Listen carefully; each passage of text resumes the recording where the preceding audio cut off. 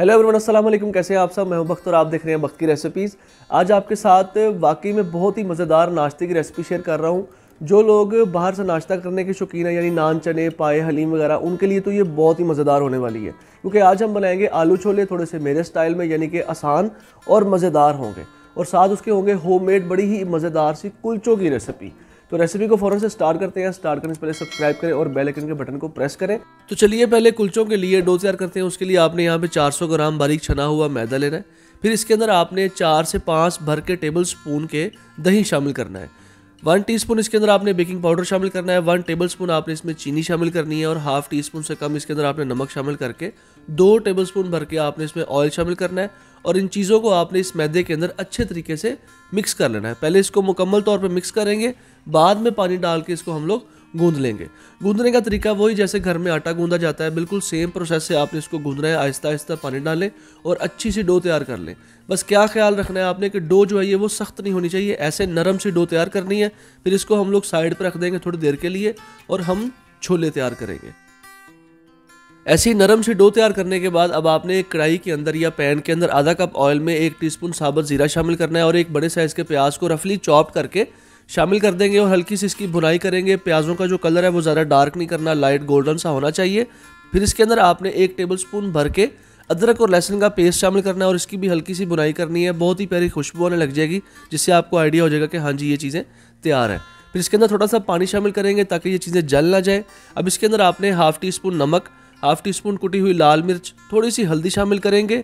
Half tea spoon से थोड़ा सा ज़्यादा गरम मसाला और हाफ़ टी स्पून से थोड़ा सा ज़्यादा जो है वो साबुत धनिया शामिल करेंगे। सिर्फ़ ये पाँच मसाले इसमें शामिल करने हैं और कोई चीज़ शामिल नहीं करनी। बेसिक से मसाले हैं, हर घर में ये मौजूद होते हैं। अब इन मसालों को भी आपने अच्छे तरीके से पका लेना, इनकी आपने बेहतरीन सी बुनाई कर देनी है। अब इसमें हमने ग्रेवी बनाने के लिए जो है वो दही शामिल करना है। तो इसमें भी आप चार टेबल स्पून दही शामिल करें और अच्छे तरीके से इसके अंदर आप इसको मिक्स करें ताकि दही की कोई डली ना रहे, बिल्कुल इस तरीके से। लेकिन अभी इसकी ग्रेवी मुकम्मल तौर पे बनी नहीं है। तो इसमें मैंने क्या किया है, दो आलू लिए थे दरमियाने से, उनको बॉयल करके मैश कर लिया और वो इसमें शामिल कर दिए आलू से क्या होगा, इसके अंदर बड़ी ज़बरदस्ती ग्रेवी का ना एक टेक्सचर बन जाएगा ग्रेवी की फॉर्म में ये मसाला आ जाएगा। जिसकी वजह से आलू और चनों का जो स्वाद है ना, वो बड़ा मज़ेदार सा आ जाएगा, बड़ी अच्छी सी हमारी जो है वो डिश तैयार हो जाएगी।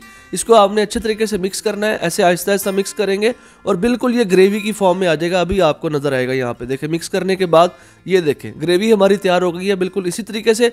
अब इसके अंदर आपने एक कप बॉयल चने जो है वो शामिल कर देने हैं और साथ ही इसके अंदर आपने जो है वो एक कप ही तकरीबन तीन या चार आलू है उनको बॉयल करके ऐसे क्यूब्स में काट के शामिल करना है। दो हरी मिर्च लेनी है, उनको बरीक बरीक काटना है और हरा प्याज शामिल करना है। ये हरा प्याज आपको इजीली किसी भी सब्ज़ी वाली दुकान से मिल जाएगा। अब इन चीज़ों को आपने हल्के हाथ से मिक्स करना है, ज़्यादा ज़ोर से नहीं करना कि आलू जो है वो आपके टूट जाएँ। इसके अंदर ये जो हमने क्यूब्स में शामिल किए हैं ना, ये आपने आहिस्ता आहिस्ता शामिल करना है, इन चीज़ों को मिक्स करना है। बहुत ज़्यादा पकाना नहीं है क्योंकि ये चीज़ें ऑलरेडी पकी हुई हैं। आलू भी बॉयल्ड है और चने भी बॉयल हैं। बस इस ग्रेवी के अंदर आपने इनको मिक्स करना है। और देखिए, बड़ी ही ज़बरदस्त लुक आ गई है, लेकिन अभी ये तैयार नहीं है। इसमें हमने शामिल करना है पानी। तो यहाँ पे मैं एक गिलास पानी शामिल कर रहा हूँ, जिससे कि असल चनों की लुक आएगी कि जब हम इसमें नवाला लगाएँगे ना, चाहे नान का, पराठे का, कुलचा या कोई रोगनी रोटी हो या कोई खमीरी रोटी हो, मैं कहता हूँ मज़ा आ जाएगा। देखिए, पानी शामिल कर दिया। अब इसको आपने ढाम देना है तकरीबन सात से आठ मिनट के लिए।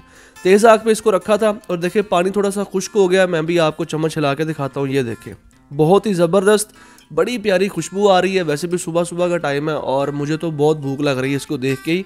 अभी फटाफट से कुलचे तैयार करेंगे और नाश्ता करेंगे। अब इसके ऊपर आपने हरा धनिया शामिल करना है, इसकी खूबसूरती बढ़ जाएगी और आपके चने हो गए रेडी यहाँ पे देखिए जी, डो हमने रखी हुई थी। अब डो तैयार है। अब सिंपली आपने इसके पेड़े तैयार करने हैं, जिस तरीके से आप घर में पेड़ा तैयार करते हैं। बिल्कुल सेम प्रोसेस से आपने इसका अच्छे से, खूबसूरत से गोल गोल से पेड़े तैयार कर लेने हैं। और इतने मटेरियल के साथ इजीली आप छः अच्छे साइज़ के पेड़े तैयार कर सकते हैं।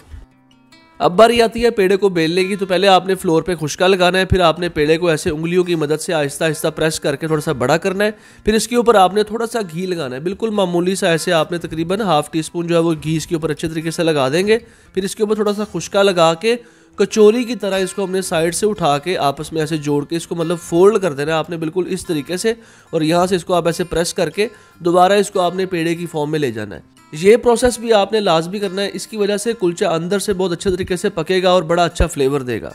अब आपने इसको हाथों से प्रेस करके बड़ा करना है, फिर आपने बेलने की मदद से इसको रोटी की शेप दे लेनी है, बिल्कुल वैसे जैसे घर में रोटी पकाई जाती है। रोटी तैयार होने के बाद हल्का से ऊपर पानी लगाएँगे और मैं इसके ऊपर लगा रहा हूँ कलवंजी। आपके पास कलवंजी है कलवंजी लगा लें, तिल पड़े हैं, तिल लगा लें। अगर कुछ भी नहीं लगाना तो कुछ भी ना लगाएँ। लेकिन कलवंजी जो आपने थोड़ी लगानी है, क्योंकि ये कड़वी होती है। अब इसको आपने ऐसे उठाना है और पैन के अंदर आपने इसको शिफ्ट कर देना है। पैन में इसमें शिफ्ट करने के बाद नीचे आपने फ्लेम रखनी है लो और इसको आपने ढाँप देना है, जिससे अच्छे तरीके से फूलेगा। ये देखें छः से सात मिनट गुजरे हैं और बड़े अच्छे तरीके से ये फूल चुका है। नीचे से पक चुका है। अब इसके ऊपर आप ऑयल लगाएँ, जिससे कि इसका कलर अच्छा आ जाएगा और फिर इसकी आपने साइड चेंज कर देनी है, ताकि दोनों साइडों से इसका कलर अच्छा आ जाए और ये कच्चा ना रहे, मुकम्मल तौर पर ये पक जाए। इसकी साइड चेंज कर देंगे, बिल्कुल ऐसे ही। ये देखें नीचे से ये पका हुआ है, इसको बहुत ज़्यादा पकाना या इसको डार्क नहीं करना।